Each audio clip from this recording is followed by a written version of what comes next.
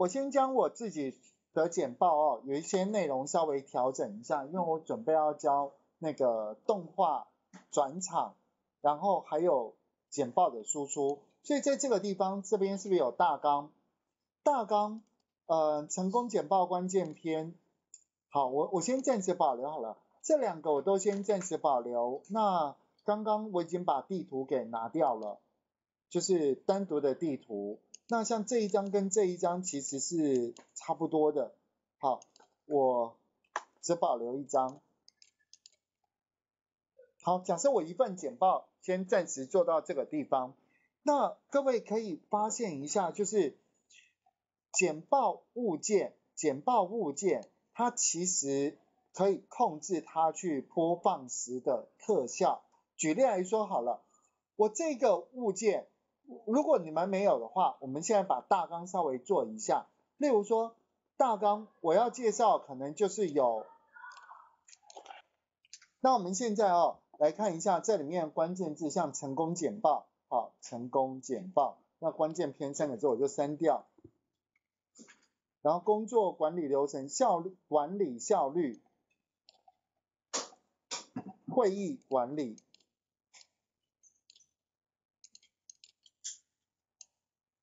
高效文件、现代化档案管理、电子邮件管理、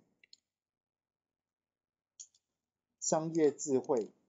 好，假设我要留下这几个字，我是会去把它做一个动画，动画的设计。也就是说，可能就是分分别来去陈述的内容。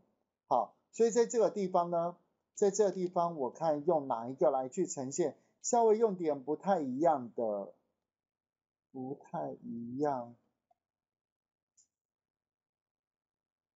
一个接一个，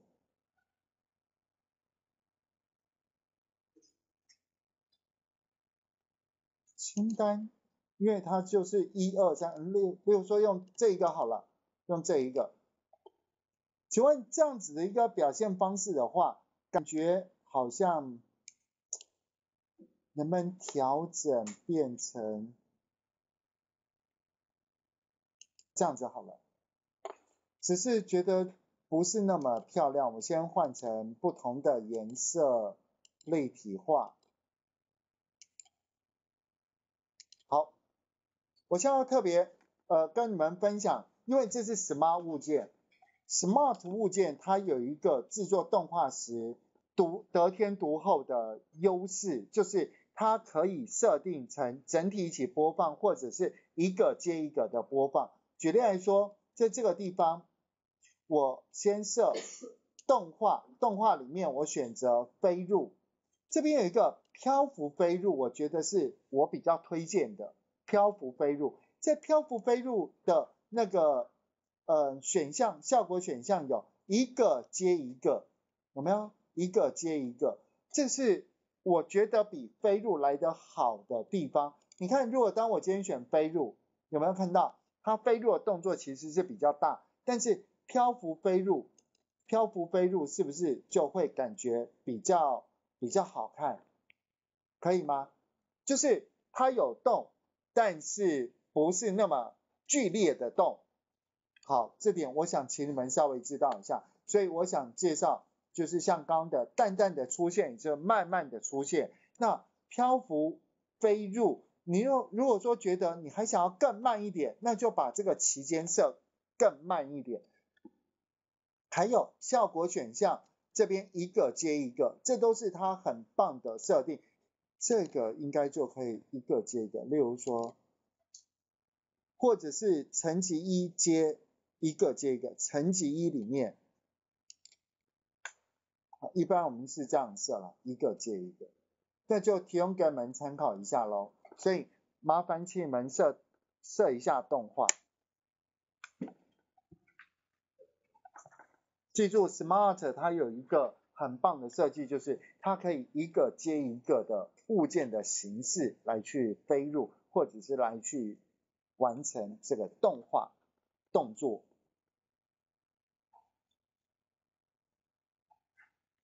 我现在要介绍是全球国际视讯会议，你就把自己等一下想象成你人在巴黎，你人在华盛顿特区，你人在高雄，你就不是坐在我们这一间教室就对了。好，那我们现在来去观看一下哦，如何进行就是嗯全球呃国际视讯会议。首先，首先在这个地方投影片放映有一个叫做线上展示。有看到这个功能，我们可以从第一张开始播，也可以从目前投影片开始播，这都没有问题。例如说，这是从第一张开始播嘛？从第一张开始播，所以当你点下去，它就从它就从零这一张投影片开始播。那从目前投影片，它就会跳过对零张，它从这一张开始播。可是我现在要特别讲的是线上展示，点选线上展示的时候呢？他要求你一定要能够要拥有一个微软公司的电子邮件，他到时候才会帮你把你的简报放在，例如说网络上，放在云端上，好，所以呢，我现在我就要连线嘛，所以点选这个连线，然后他说一定要输入电子邮件，那我就输入我的电子邮件，而且一定要是。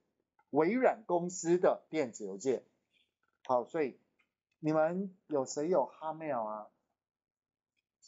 有吗？有的请举手，应该很少很少。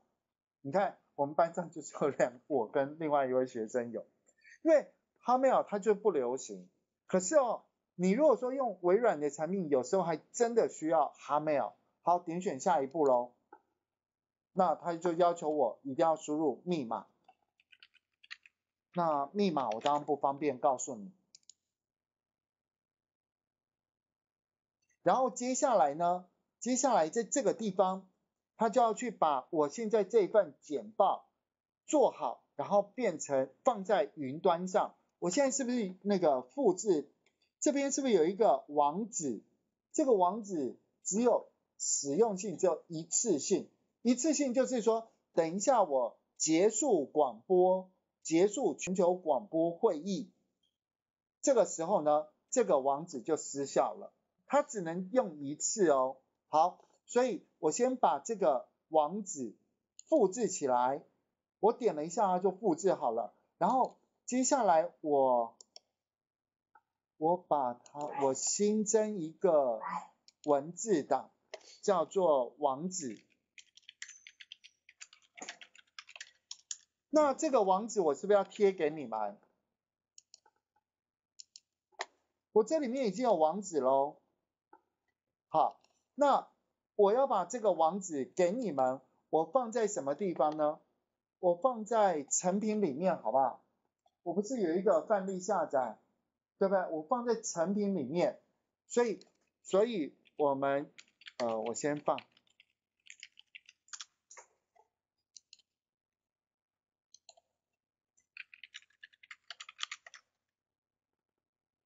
然后接下来我到我的云端，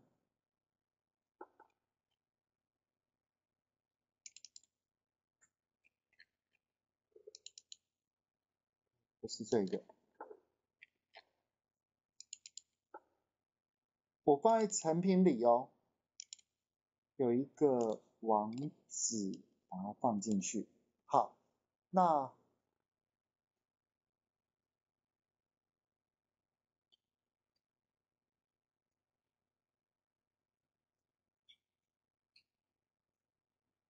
好，那我就先登出了。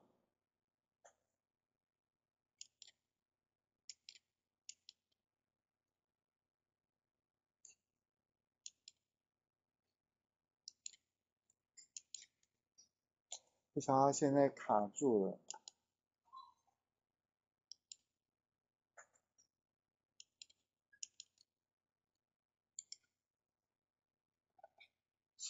好，然后。等一下，麻烦你哦，你要做的是什么事情呢？我现在做给你看，你就是要拿到那个网址嘛。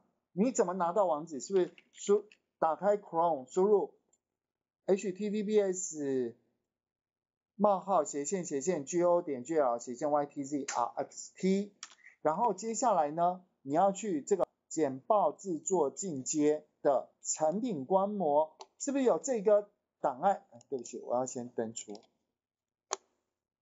这里面是不是有一个网址？你不要把它下载了，你直接打开它，然后请复制，复制，复制的快速键是不是 Ctrl 加 C？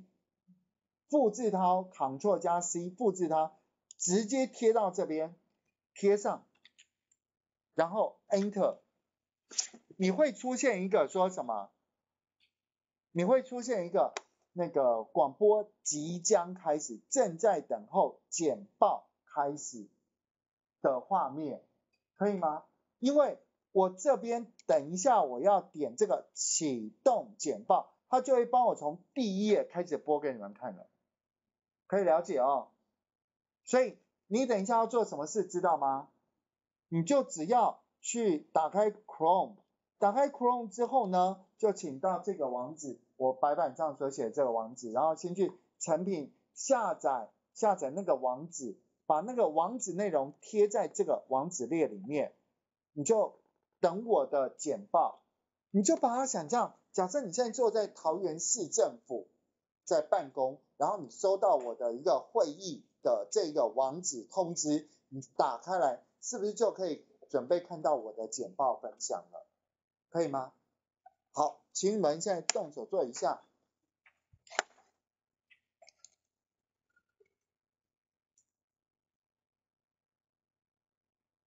播嘛。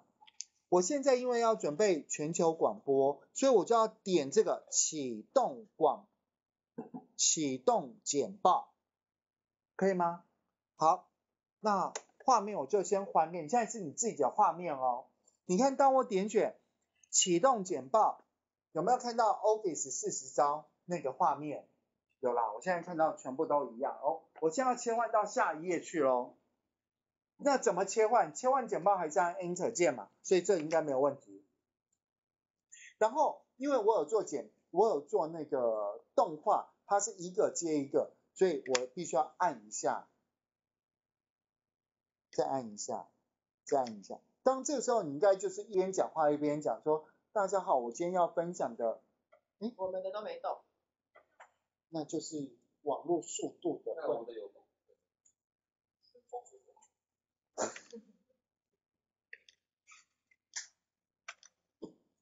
等一下，因为有些效果它可能可能不会跑出来，哎，还是没有动，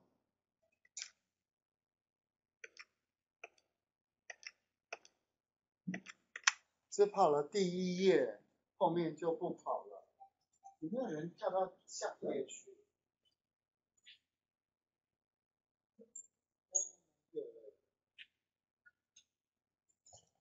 没有找到我那个，会不会是打错字？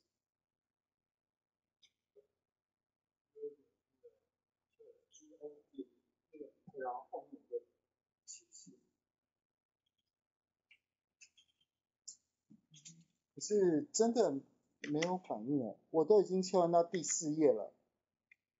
呃，看一下我现在的画面哦，现在画面应该是长这个样子，可是还是没有动静。其实我觉得很很有一种可能是因为。很有一种可能是因为那个卡巴斯基他现在正在封锁吧？你看有跳了吧？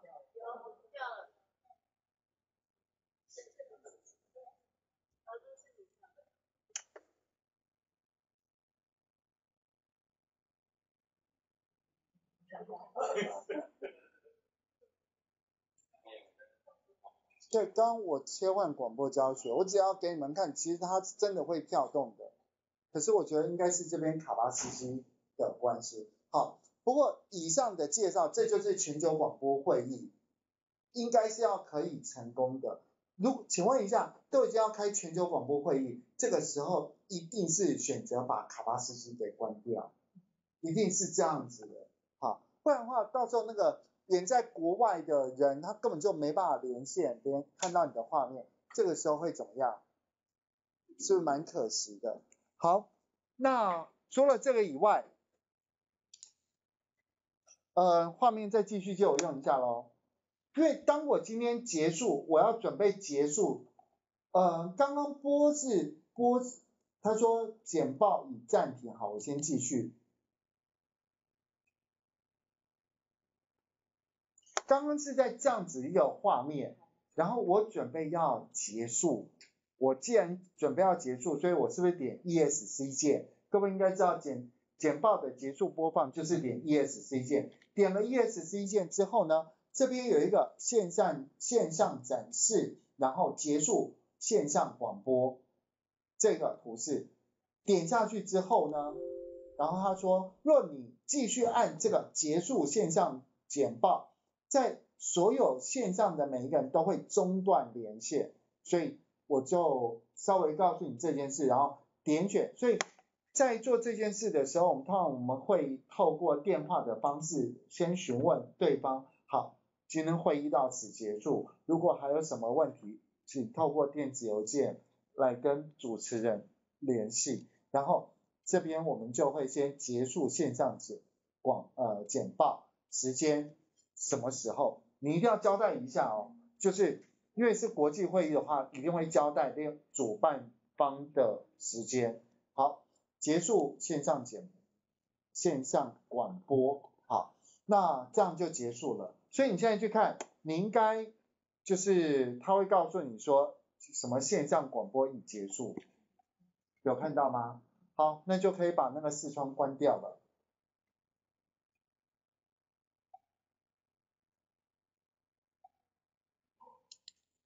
所以一定会看到简报已结束这个画面，然后这个时候你就把那个视窗给关掉就好了。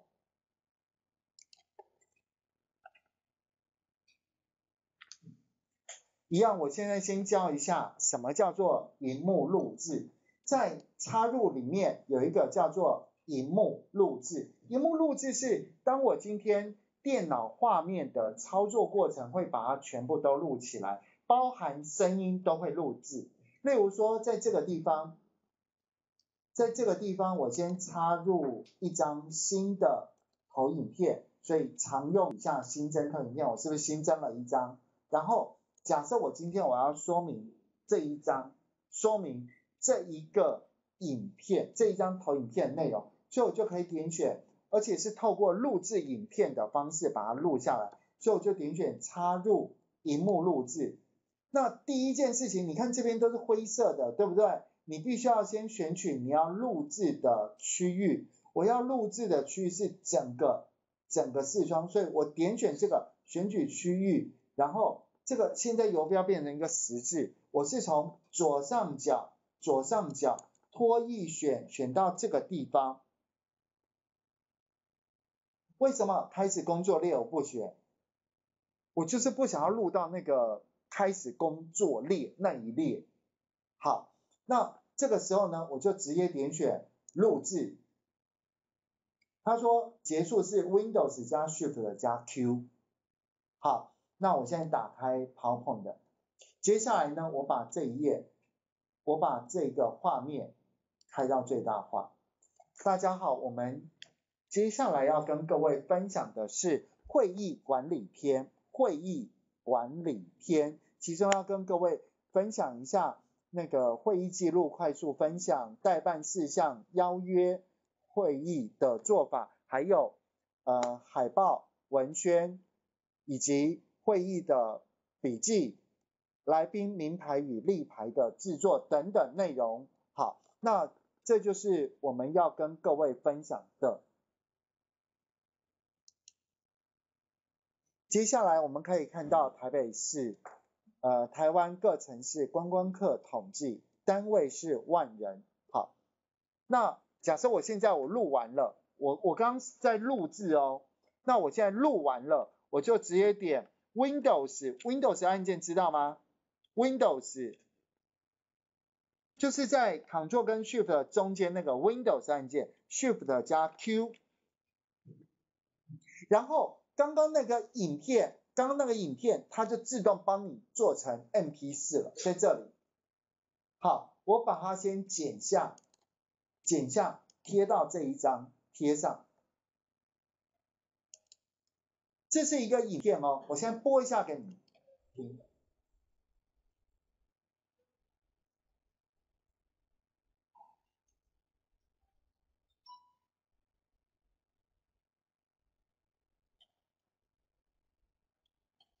可以吗？我等一下从大概十五秒之后才开始，前面我是要把它删掉的，等一下都会立刻教你如何删掉。好，请你练习一下荧幕录制，蛮简单，就是插入底下的荧幕录制，让你做一部影片。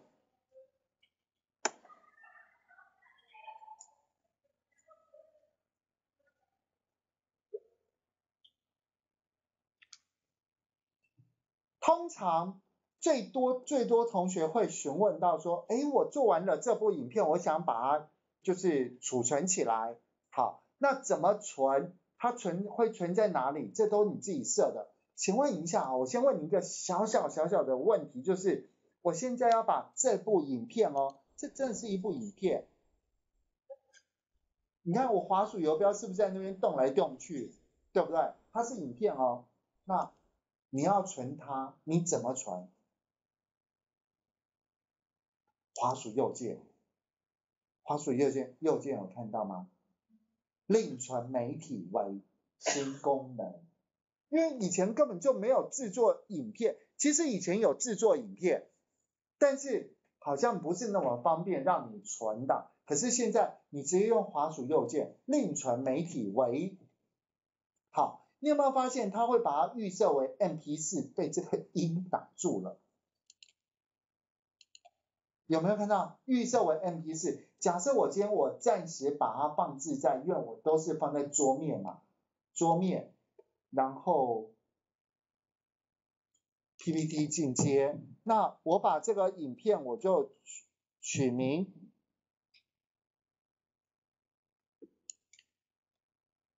取名一下。叫做会议管理，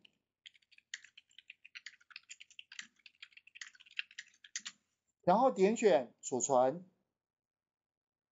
那我们现在来去观看一下啊，我既然已经把它存成会议管理，然后它真的就会在我的电脑里面。好，我们现在去观看一下，我是把它放在桌面的 PPT 进阶。然后里面应该会有一个会议管理点 MP4，而且这个档案大小就是刚刚我做的，现在是不是三点四十三分，对吧？好，我快速点两下会议管理点 MP4 这个影片，是不是就可以开始播放了？可以啊，因为这个这件事情是你一定要先知道如何把它储存变成是你的。好，那我们就把它关掉喽。来，请你们动手来去完成一下一部你刚刚做好的影片，把它先存档，存放在你自己的指定位置，这样你就知道说这个影片放在哪里了。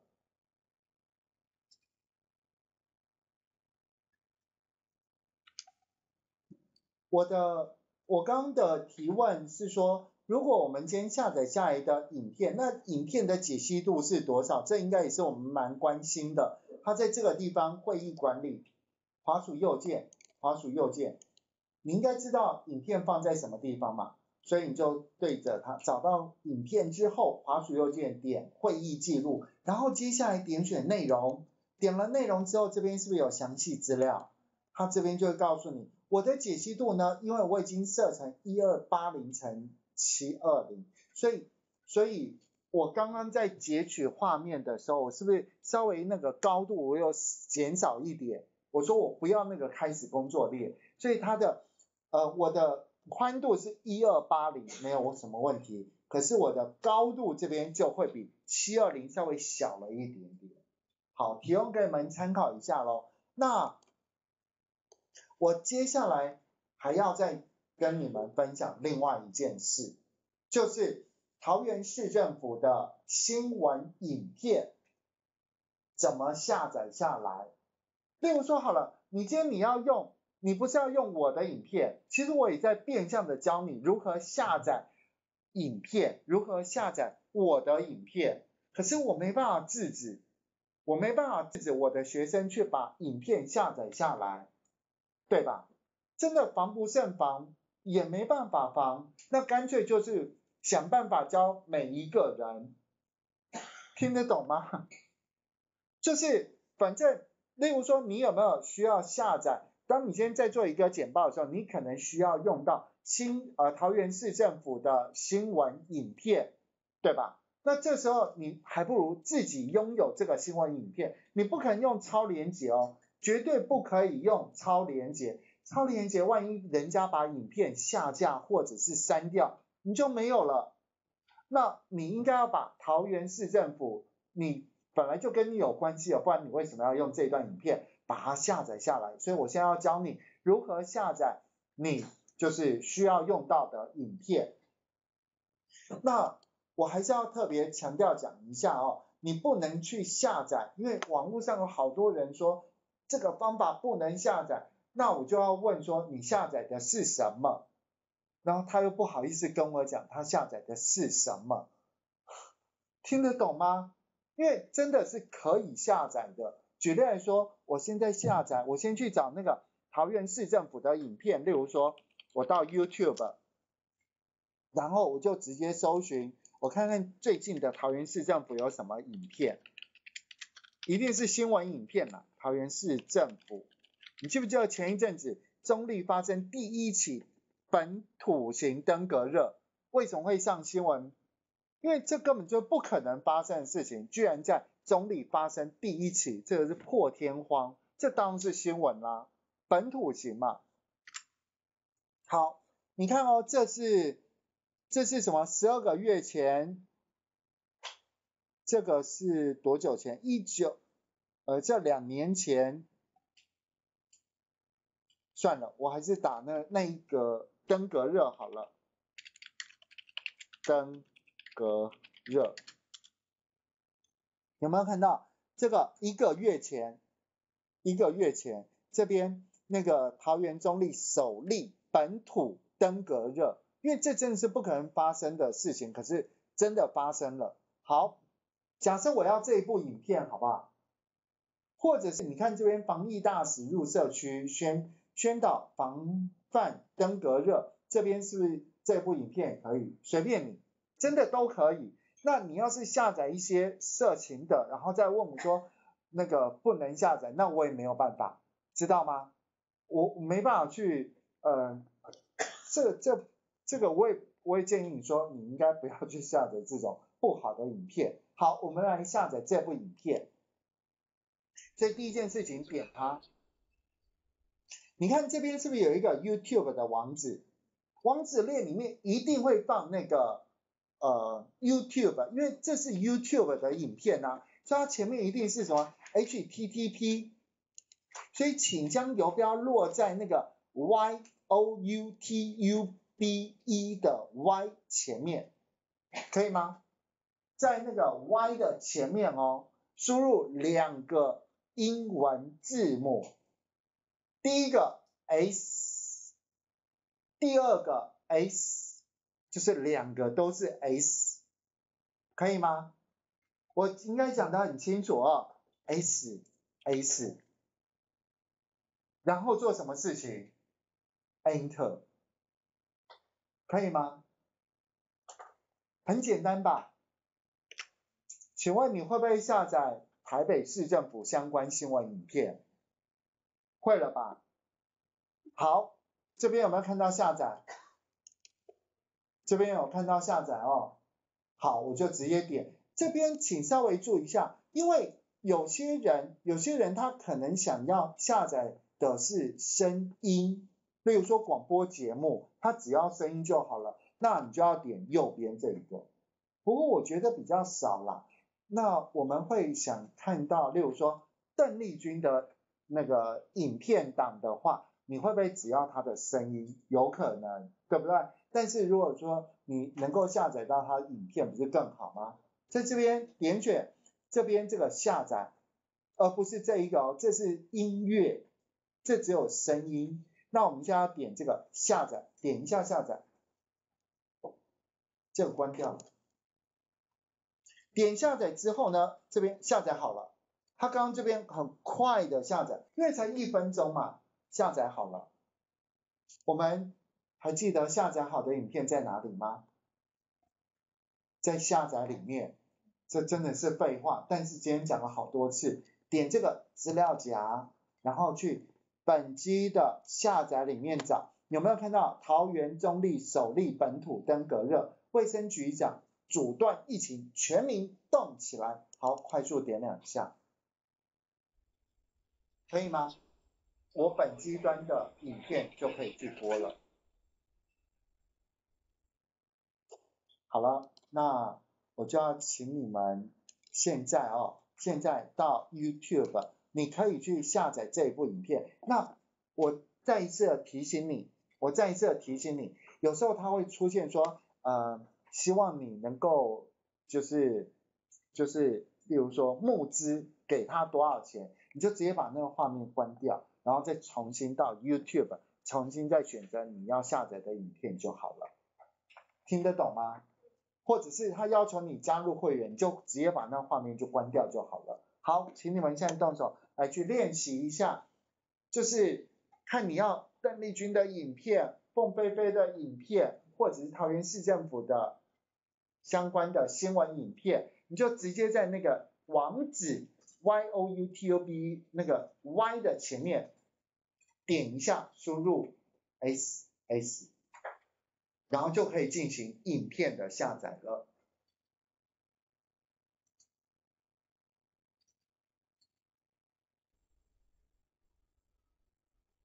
我还是要特别提醒你们，当我们在用到别人的影片的时候，毕竟你不是原本的创始者、创作者，你应该要说本影片出自自由时报，可以吗？这是一个尊重，这是一个尊重。那它放在 YouTube 上面，YouTube 的影片是不是全部都是 Creative Commons？是吗？未必哦，我的影片全部都赋予给 Cre。Creative Commons，因为我巴不得越多人去学会使用，他就不用问我问题了。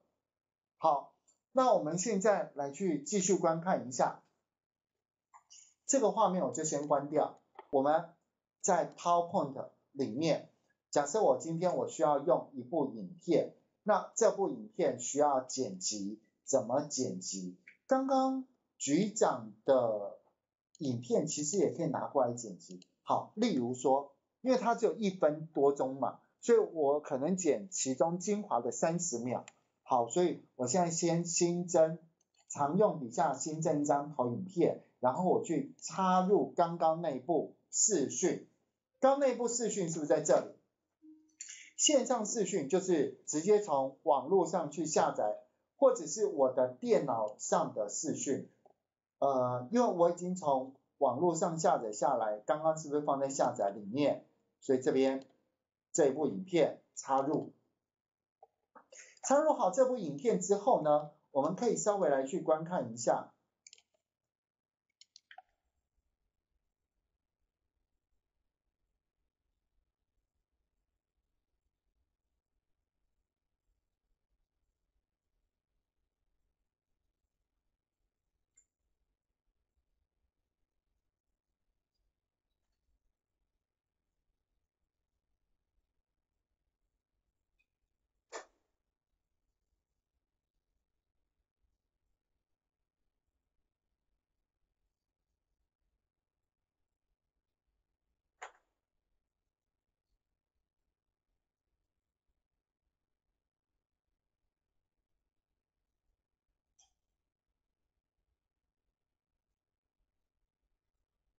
好，假设我第一步，我因为既然都有同学问说，假设我要分段剪，怎么分段剪？干脆我就直接告诉你，也不等你问了。我先从第一秒一直播到四十四秒，那四十四秒之后我就都不要了。有听懂吗？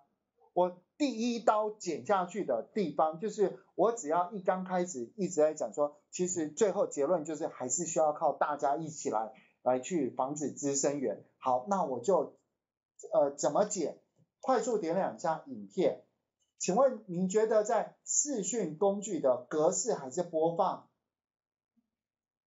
在格式里面还是播放里面有有那个影片剪辑？对，答案是播放。播放里面是不是有剪辑视讯？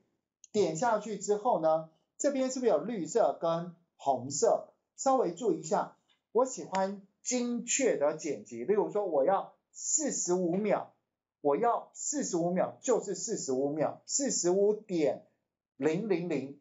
这个时候呢，我第一个方式是把它改，直接用红色的把它，它这边是不是有绿色跟红色？绿色就是开始播放，红色就结束播放。所以我是不是可以先切换，先把它拖拉到四十五秒左右，然后请把这个。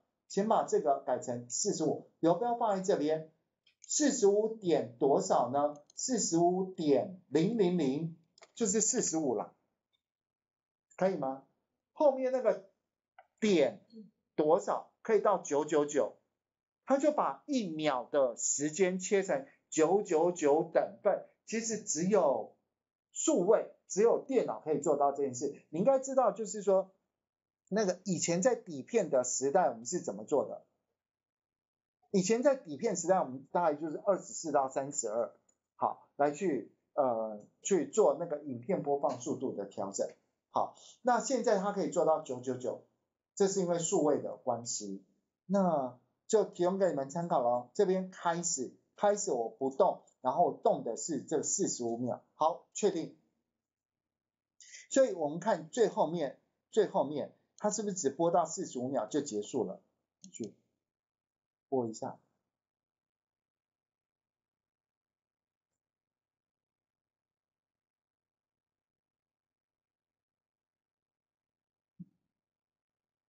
可以吗？这就是影片剪辑啦，只是它很不给力，它又在那边可能可能又在就是检查。这个我先关掉，Excel 我暂时用不到了，所以我先关掉。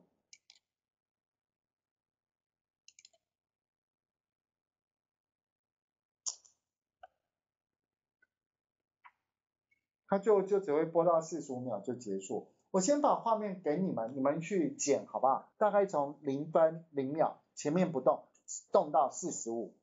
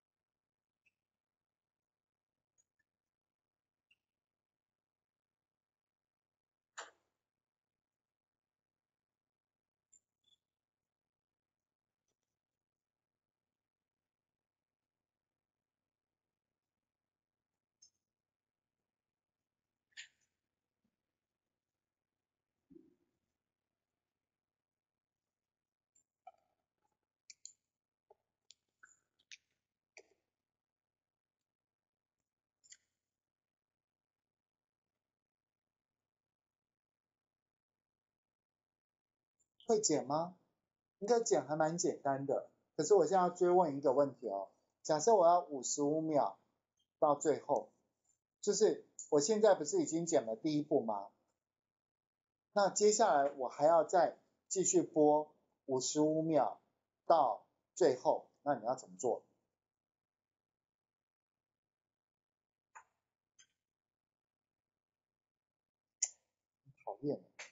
总理在执行？要执行什么？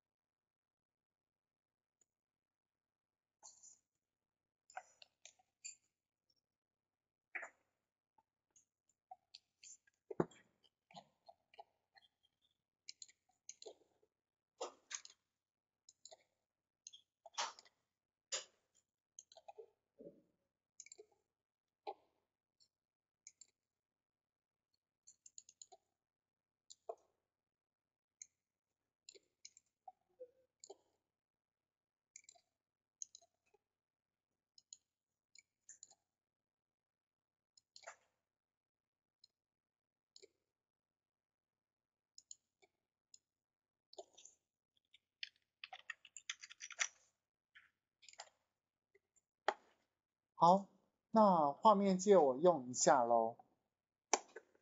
嗯，我刚刚就是在这个地方播嘛，这就是零分零秒，从一张开始，一直播到四十五秒。可是我现在我希望说。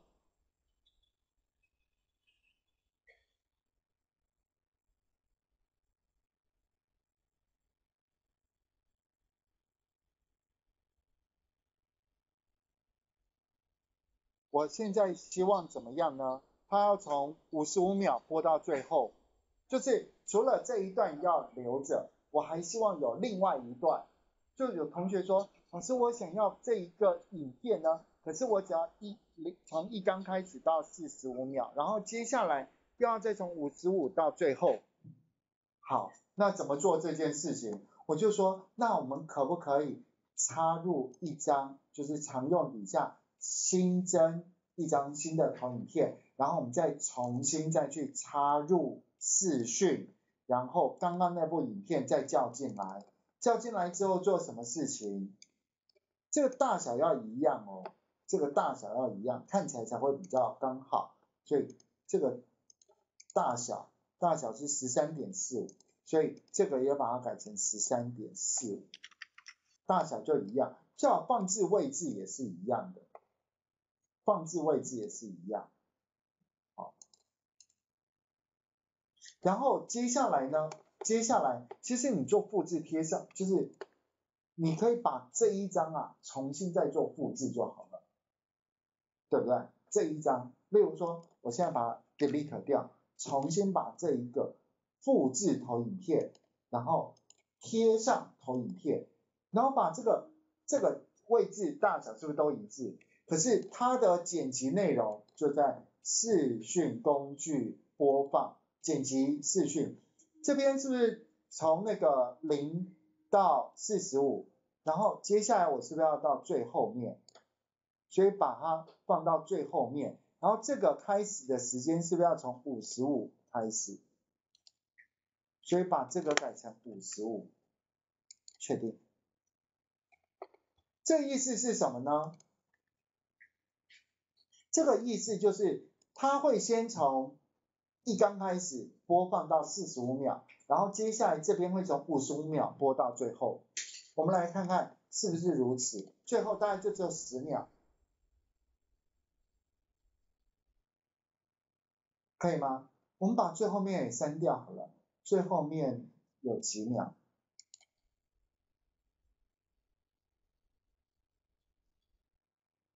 大概到四分，对不对？四分的时候，好，所以播放剪辑，呃，四秒，对不起，不是四分，是四秒，大概到这边，五十五，然后大概到五十九，然后确定，就这后面只剩下四秒钟。可以吗？就提供给你们参考。就这边是不是就有两段影片了？因为同学他要学如何分段剪，我就说，哎，其实这有点像脑筋急转弯，你要不要回去试试看？然后，然后就会产生，反正老师在，就会依赖老师，就会想要问老师。可是事实上，我觉得这还蛮简单，你们就自己去玩喽。好，然后这我就不请你们再剪了，因为。看你要剪几刀，你就随便去剪了。那接下来呢？我们在这个地方，我们在这个地方如何做好登革热防疫，或者是那个局长他重点只是要求说，呃，应该如何防止登革热？他其实大概在三十秒的时候，他有讲。我稍微把声音放大一点。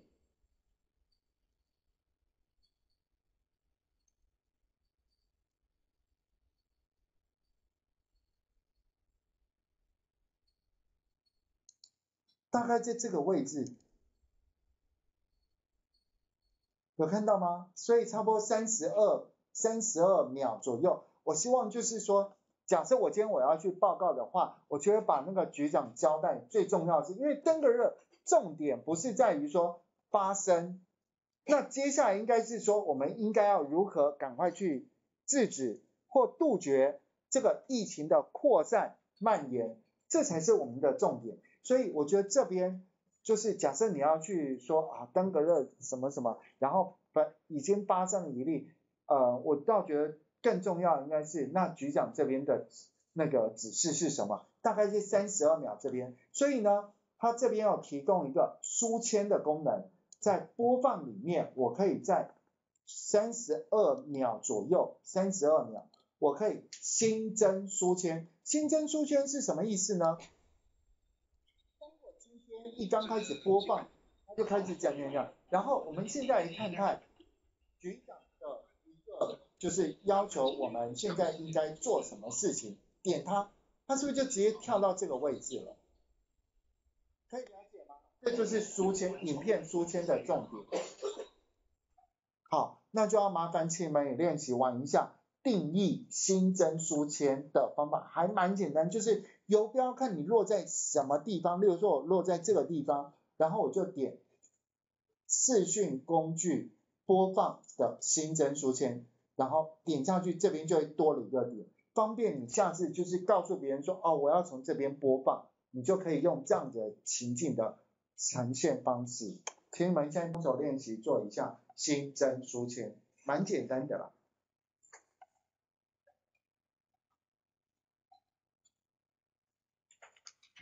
哎，通常介绍到那个输出的部分，一定就是整个课程快要结束。输出是什么？例如说，我们现在做好这一份简报档案，我建议各位哦。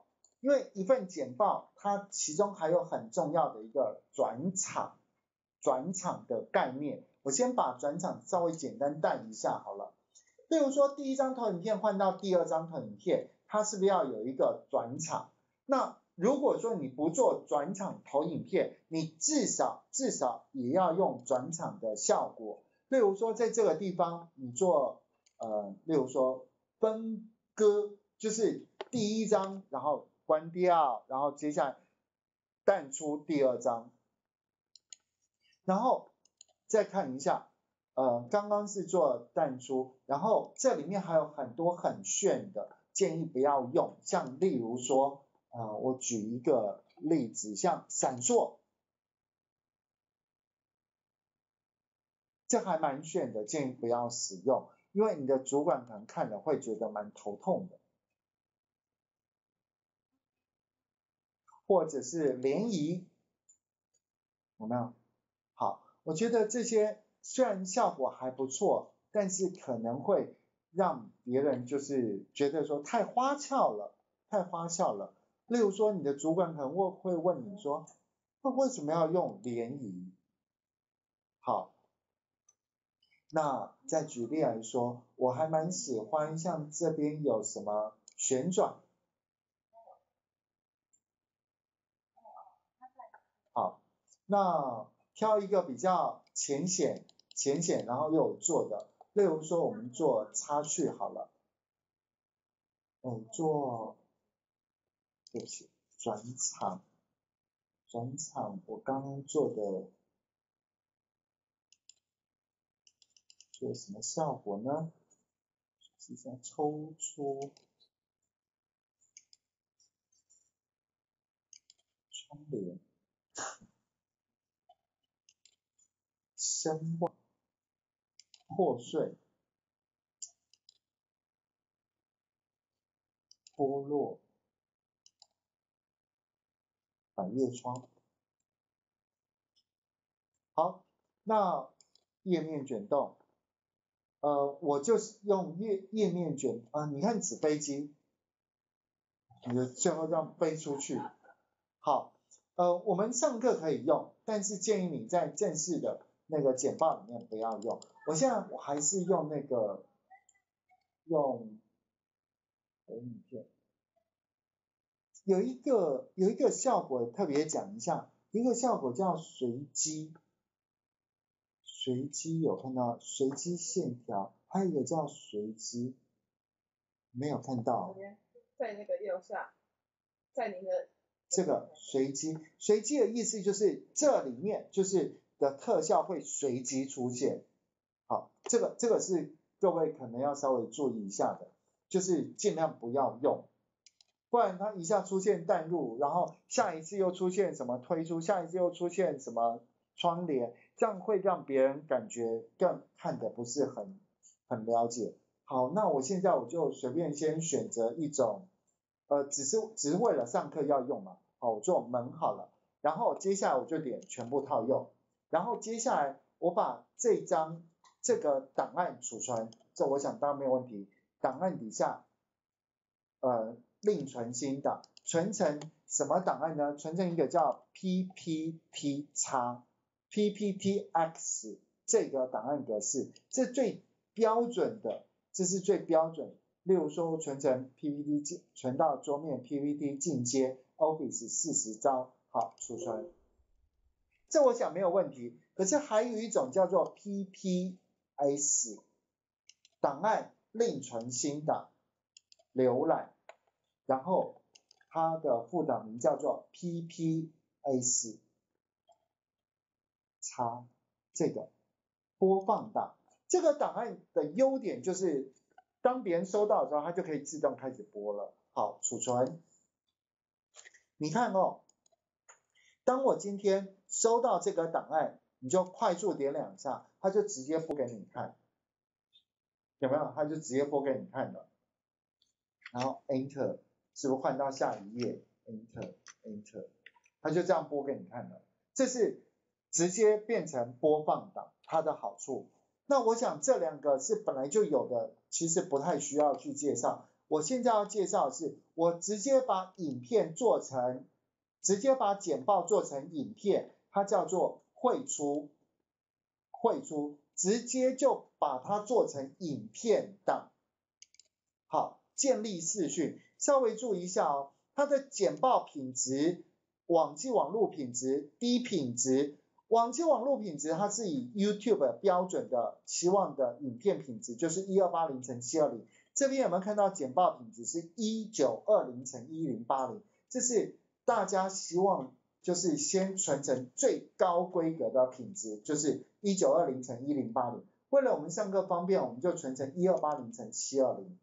然后他说每张投影片，第一张换到第二张，它就变成影片的播放方式。那第二张播放到第三张，每一张需要花的时间是五秒，你可以设为六秒、七秒或者是三秒。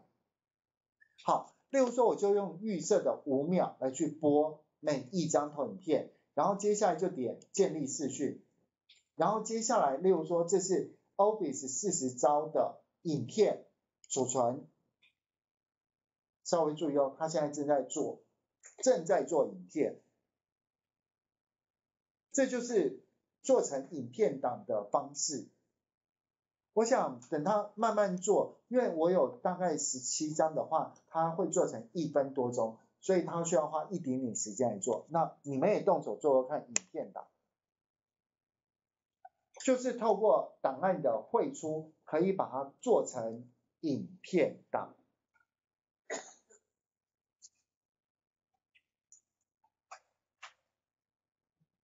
那当做完，你们就要去试着播播看看能不能顺利的去执行完毕。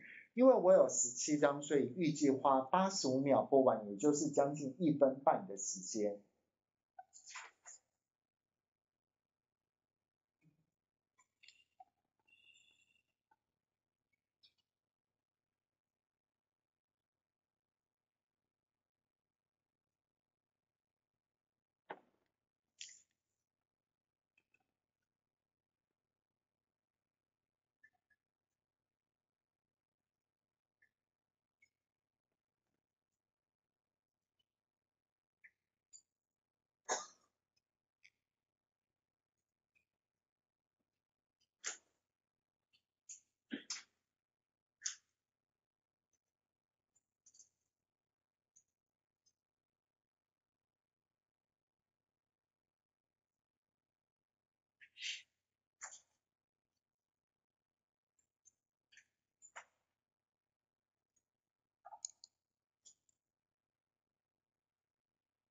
可以试着来去播放看看自己做出来的 MP4。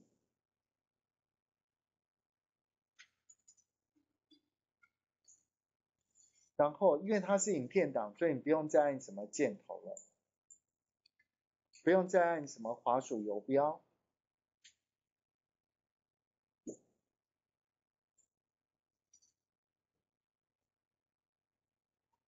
那如果配合变成一个有声音的内容，它就变成一个类似像宣传片了。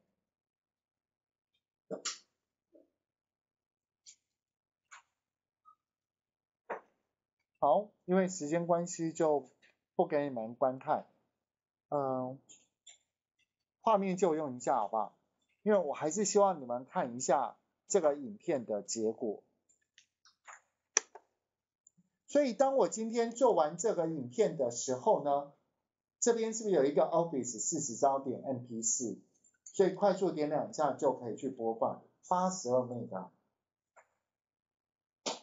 当然，因为刚我在做成影片的时候呢，这个时候我就可以再透过荧幕录制把声音配进去，可以想象一下吗？宣传片就做完了。好，那。自己来去思考一下，就是说怎么样去做，把声音放进去，就是透过荧幕录制。现在是没有声音了，现在就是每五秒跑一张，然后呃感觉就是说有这这些内容之后呢，然后再加声音，那就变成一个 Office 四十招的一个宣传影片了嘛。好，那。我大致上输出先暂时介绍到这个地方，因为你看一下它的输出可以把它做成简报档，它可以变成 PPSX 的播放档，还有就是影片档，这都是简报的输出。稍微注意一下这个 PPSX，如果你收到别人的这种播放档，你要怎么修改它？修改它方式是这样子。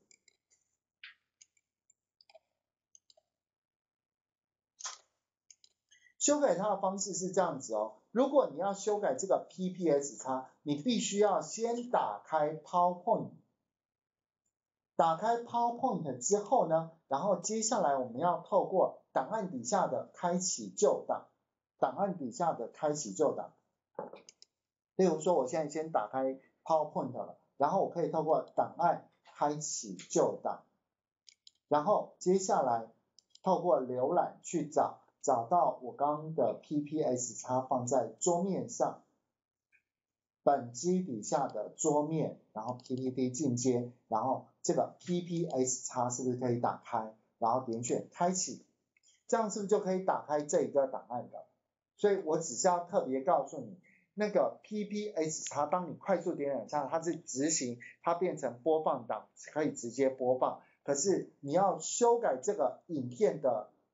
修改简报内容，你就必须要用开启旧档去打开。好，那通常我想输出大概就介绍到这边了。我们稍微复习一下我们跟各位分享的内容，就要准备结束今天的课程了。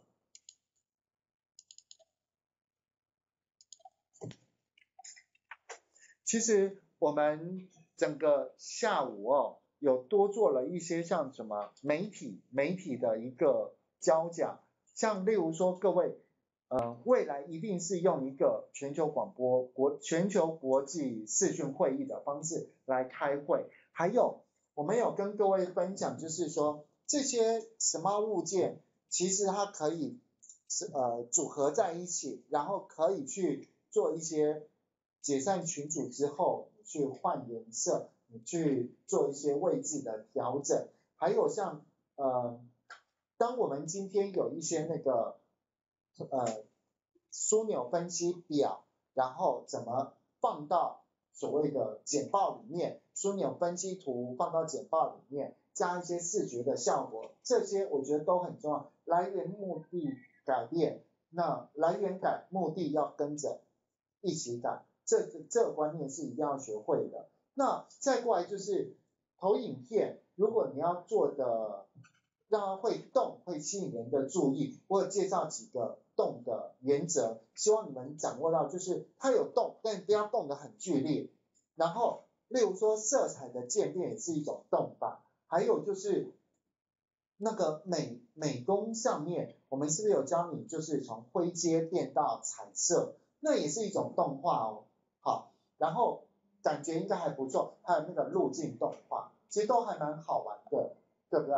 其实，在 Word 以下 PowerPoint 里面，这个 PowerPoint 它应该是最好玩的。那后面我就再教各位输出，那还有。全球国际广播会议，通常在课程最后啊，我都会跟各位分享我的座右铭，我很喜欢的两句话，它出自于杜甫，奉正呃为左丞相二十二韵，然后他其中的两句话，读书破万卷，下笔如有神。其实杜甫他这个时候他是为了。希望说左丞相能够把他的自荐函送给皇上来去过目，然后写了非常非常长的长篇大论来介绍他自己，其中其中这是很多很多里面的两句话，可是哦，当时皇上可能年年战事，就是边疆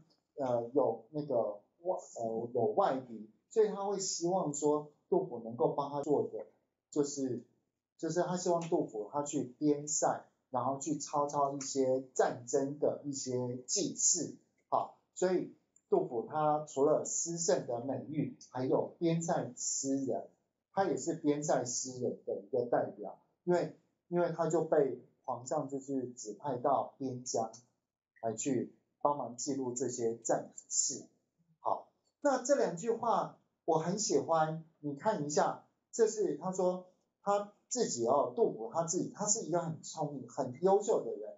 他怎么读书呢？他非常非常喜欢读书，然后把书给读破掉，而且不是读破一卷两卷，读破很多很多书，就代表他是一个非常非常努力、非常努力读书的人。然后这样子的读书的方法，才能够写出很棒很棒的作品。好，其实，在就是在讲。他是一个很努力、很努力的，事实上他也是如此。你想哦，这么优秀的人，他都这么努力了，所以我们应该可以见贤思齐的。重点我是要讲说，我其实有很多很多的教学影片，对不对？一步一步放在那边，真的提供给你们。如果你有需要的话，你可以去安排一下时间，挑你喜欢或者你想要学习的。我想。这对你们应该会有很大的帮助。那，嗯，在课程最后呢，就祝福大家每天都幸福、平安、快乐，然后呃有快快乐乐的学习，然后自己每天有一点点不断的进步。那我们的课程就暂时上到这边喽。等一下麻烦离开的时候，请帮忙关机，还有把那个，例如说你有登出呃登录的话，一定要登出哦。还有就是把那个你下载下一个，像例如说桌面上那个资料夹全部都删掉。好，我们今天课程就上到这边，谢谢大家。